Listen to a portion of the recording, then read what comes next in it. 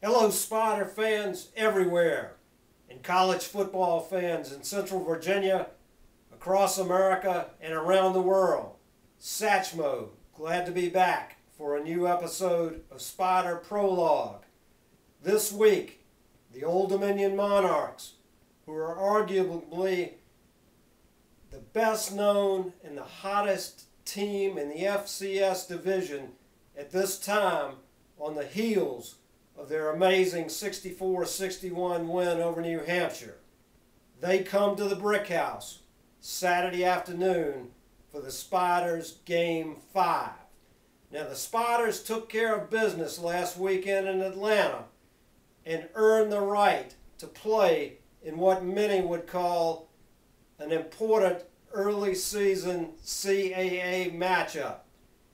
And the Spiders have been taking steps every week last weekend putting to bed the conference losing streak.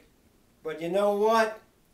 It obviously isn't going to be any easier Saturday to take that next big step, proving we can compete and play with an elite CAA team, Old Dominion. On the other hand, Old Dominion had a chance last week against New Hampshire to prove once again how spectacular uh, their offense uh, was. I'm sure you've read and heard all you want to hear about the amazing uh, quarterback and all the incredible statistics that came out of that game.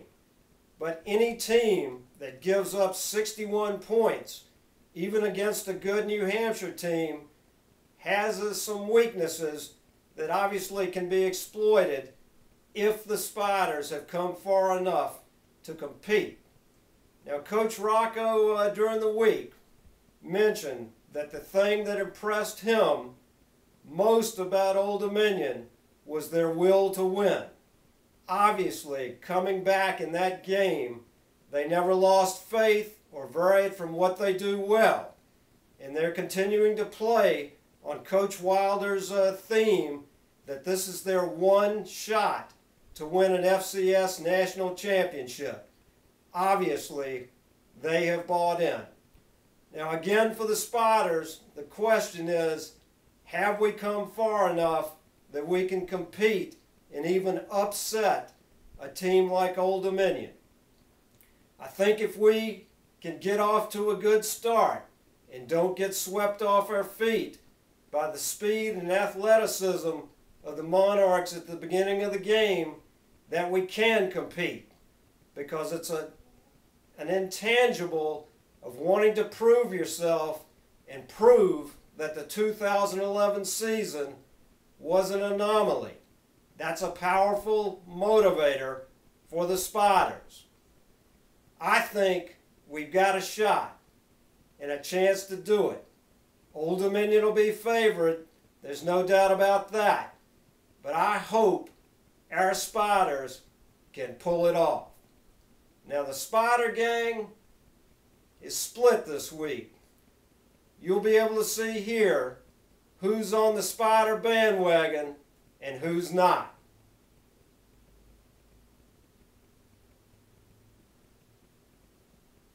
I hope I see a lot of good old friends and Spider fans uh, Saturday at the Brick House, hooping, hollering, and supporting these spiders who've done exactly what we hoped they would do to make this a big game against the Monarchs. That's all for ODU. Let's have the nation talking about spiders. Go spiders! So long for now.